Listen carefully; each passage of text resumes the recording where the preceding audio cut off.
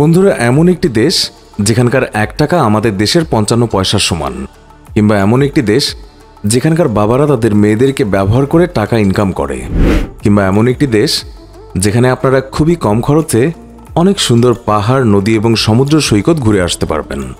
বন্ধুরা, আজ আমরা ভ্রমণ করতে চলেছি কম্বোডিয়াতে। বন্ধুরা, কম্বোডিয়া থাইল্যান্ড এবং ভিয়েতনামের মাঝে অবস্থিত।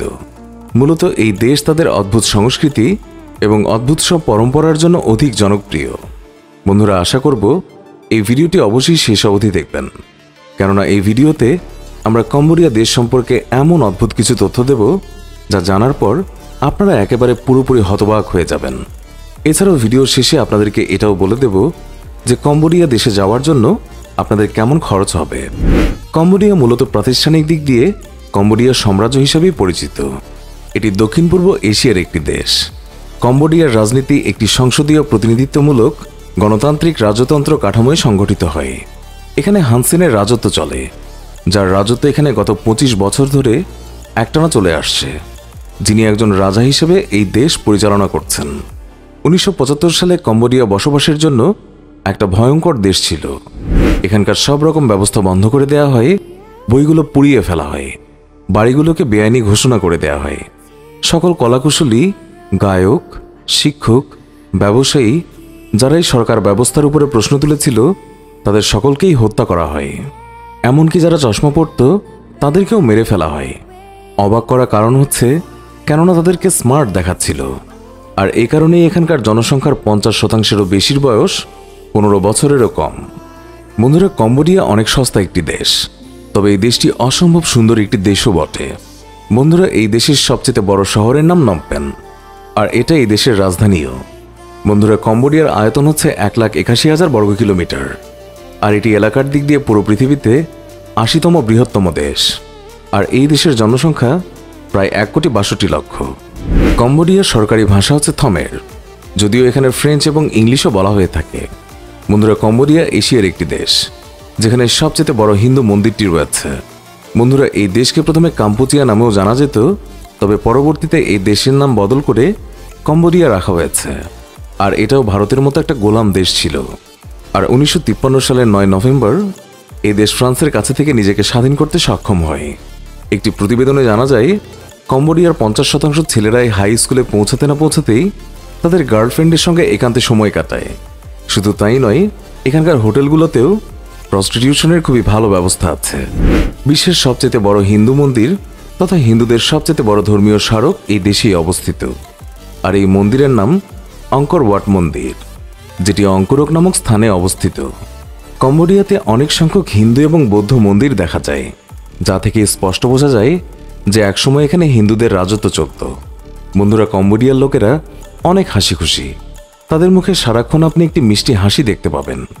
আর তারা সবসময় আপনাকে এভাবেই হাসি মুখে আমন্ত্রণ জানানোর জন্য প্রস্তুত থাকে। কম্বোডিয়ার বেশিরভাগ মানুষই বৌদ্ধ ধর্মাবলম্বী, আর এই জন্য এখানকার রাষ্ট্রীয় ধর্ম বৌদ্ধ। ফানন কম্বোডিয়ার সবচেয়ে উঁচু পর্বত, আর এর উচ্চতা আঠারোশো তেরো মিটার। মেকম নদী কম্বোডিয়ার সবচেয়ে লম্বা নদী আর এটি প্রায় চার হাজার তিনশো পঞ্চাশ কিলোমিটার। বন্ধুরা, আপনারা জানেন কি? কম্বোডিয়াতে আপনি সবচেয়ে অদ্ভুত খাবার খেতে পারবেন, কারণ এখানে মাকড়সা থেকে শুরু করে স্টিকে লাগানো বিচ্ছু এবং তেলাপোকাও আপনি খাওয়ার জন্য পেয়ে যাবেন। তবে হ্যাঁ বন্ধুরা, ভয় পাওয়ার কিছুই নেই, কারণ এখানে আপনি অনেক ধরনের ইন্ডিয়ান রেস্টুরেন্টও হাতের কাছেই পেয়ে যাবেন, যেখানে আপনি মাত্র চার থেকে পাঁচ ডলার খরচ করলেই ভরপেট আপনার পছন্দের খাবার পাবেন। বন্ধুরা, জানেন কি? হলিউডের জনপ্রিয় মুভি টম রাইডারের শুটিং কম্বোডিয়াতে করা হয়েছিল। আর এই মুভির পর থেকে কম্বোডিয়া মানুষের নজরে আসতে থাকে, আর এর পর থেকেই এই দেশের ট্যুরিজম অনেক বৃদ্ধি পায়। বন্ধুরা, কম্বোডিয়াতে যুদ্ধের সময় লাখ লাখ ল্যান্ডমাইন লাগানো হয়েছিল, যা কিনা আজও ফাটতে থাকে। আর এই জন্য কম্বোডিয়াতে একটা ল্যান্ডমাইন নিষ্কাশন ট্রাস্ট রয়েছে, যাদের কাজই হচ্ছে এইসব ল্যান্ডমাইনগুলোকে খুঁজে বের করা এবং সেগুলোকে নিষ্ক্রিয় করে কম্বোডিয়াকে সুরক্ষিত রাখা। টানেল শেপ নামে একটি ঝিল, যেটি কিনা দক্ষিণ এশিয়ার সবচেয়ে বড় মিঠা পানির ঝিল, সেটি কম্বোডিয়াতে অবস্থিত। এই ঝিল প্রতি বছর দুইবার নিজের প্রভাব বদলে ফেলে। এই ঝিলের তীরে আছে চুমকাসের নামে একটি ছোট্ট গ্রাম, যেটাকে ভাসমান গ্রামও বলা হয়ে থাকে। এই গ্রামে বাজার, ক্লিনিক মৎস্যপালন থেকে শুরু করে প্রয়োজনীয় সবই রয়েছে। বন্ধুরা, আপনারা জানেন কি? কম্বোডিয়াতে বাস করে ক্রিয়াঙ্ক নামক একটি জনজাতি। আর এই জনজাতির পিতারা তাদের যুবতী মেয়েদের জন্য লাভ হাট অথবা ভালোবাসার ঝুপড়ি বানায়। আদতে এটি দেখতে কিংবা শুনতে খারাপ মনে হলেও এটি তাদের বংশ পরম্পরায় একটি সংস্কৃতি। আর এই লাভ হাটের সবচেয়ে মজার ব্যাপার হচ্ছে, মেয়েরা তাদের পছন্দের ছেলেদের সাথে এই লাভ হাটে রাত কাটায় আর দিনে বাড়ির কাজ করে। ক্রিয়াং জনজাতির ধারণা এই পরম্পরার মাধ্যমে মেয়েরা শক্তিশালী এবং প্রভাবশালী হয়ে থাকে। আর এতে করে মেয়েদের আত্মবিশ্বাসও অনেক বাড়ে। এতে করে তাদের জীবনসঙ্গী বেছে নেওয়ার সময় কোনো সমস্যায় পড়তে হয় না। কিন্তু ট্যুরিস্টের কারণে এই জনজাতির এই ধরনের পরম্পরায় অনেক প্রভাব পড়েছে। কারণ ট্যুরিস্টরা এখানে এসে তাদের বংশ পারম্পরিক সংস্কৃতিতে বিঘ্ন ঘটাচ্ছে। বন্ধুরা, আপনারা জানেন কি? কম্বোডিয়াই এমন একটি দেশ, তাদের পতাকায় একটি ইমারতের ছবি রয়েছে। বন্ধুরা, কম্বোডিয়া তাদের বিদেশি ব্যঞ্জনের জন্য সারা বিশ্বে অনেক বেশি জনপ্রিয়। এইসবের মধ্যে সাপ, বিচ্ছু, তেলাপোকা এবং নানান ধরনের উদ্ভট পোকামাকড় রয়েছে। কম্বোডিয়াতে কাপড়ের ব্যবসা অনেক জোরসে চলছে। কম্বোডিয়ার অর্থনীতির একটা মোটা অংশ এই কাপড়ের ব্যবসা থেকেই আসে। এখানে আপনি অনেক সস্তায় অনেক সুন্দর কাপড় পাবেন। বন্ধুরা, কম্বোডিয়াতে ঘুরতে হলে আপনি টুকটুক পেয়ে যাবেন। যেমন ভারতে ট্যাক্সি পাওয়া যায়। আর এর সাহায্যে আপনি দেশের যে কোনো জায়গায় খুব সহজেই ঘুরতে পারবেন। কম্বোডিয়ান নাইট লাইফ অনেকটা থাইল্যান্ডের মতোই, কারণ এখানেও অনেক ভালো এনজয় করার জায়গা রয়েছে। কম্বোডিয়ার একটা বড় অংশ জঙ্গল দিয়ে ঘেরা, কিন্তু কম্বোডিয়া খুব দ্রুত এইসব জঙ্গল হারাচ্ছে। বর্তমানে কম্বোডিয়াতে বন নিধনের কাজ পৃথিবীতে সবচেয়ে বেশি হচ্ছে। এর পরবর্তী স্থানে রয়েছে নাইজেরিয়া এবং তার পরে রয়েছে ভিয়েতনাম। এই দেশের আয়ের মূল অংশ আসে চাষাবাদ, মৎস্য পালন এবং পর্যটন খাত থেকে। দ্য খামির নিউ ইয়ার নামের একটা উৎসব এখানে অনেক ধুমধাম করে পালিত হয়। এই উৎসব চলে টানা তিন দিন। যদিও কম্বোডিয়ার মুদ্রা কম্বোডিয়ান রিয়েল, তবে এখানে আপনি আমেরিকান ডলার দিয়েও পে করতে পারবেন। কারণ এই দেশে ইউএস ডলারও চলে। দুই হাজার সাত সালে কম্বোডিয়ার সমুদ্র সৈকতে তেল আর গ্যাসের খনি সন্ধান পাওয়া যায়। যার কারণে এই দেশের অর্থনৈতিক অবস্থা বর্তমানে বেশ ভালোই। কম্বোডিয়াতে অন্ধ ক্লিনিক রয়েছে, যেখানে আপনি অন্ধদের দিয়ে মালিশ করাতে পারবেন।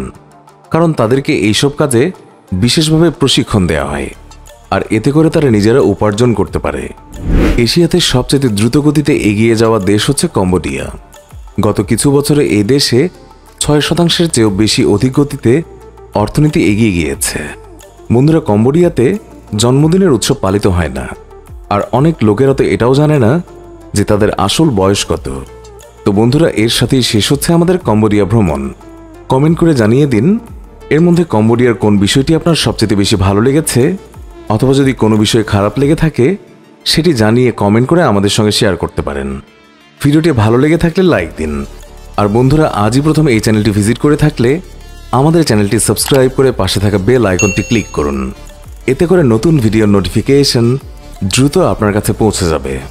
তো বন্ধুরা, আজকের মতো এখানেই শেষ করছি। কথা হবে পরের ভিডিওতে। ততক্ষণ সুস্থ থাকুন, ভালো থাকুন, আর আমাদের চ্যানেলের সাথেই থাকুন।